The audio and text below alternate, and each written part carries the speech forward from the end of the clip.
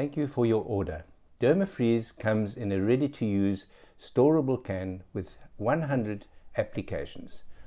Before the first application, remove the anchor on the attenuator. The freezing of a lesion occurs when a minimum amount of agent is deposited into the funnel, placed over the lesion with a 1 to 2 millimeter free border around the lesion.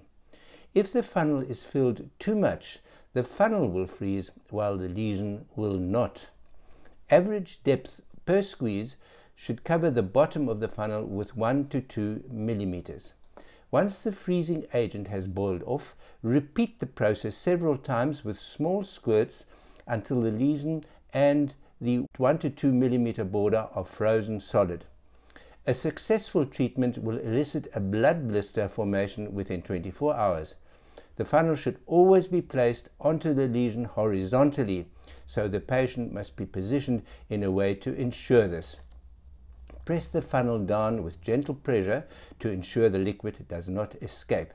Sometimes the plastic tube delivers the gas pops off during the procedure.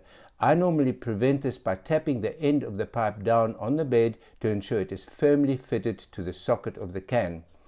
Use on all benign skin lesions and BCCs smaller than 5 millimeters. Never freeze a mole. Dermafreeze is not a CFC and is not harmful to the environment. It has all the certifications and ISO codes required by international law. The unit is dispatched by courier on the day full payment has been received.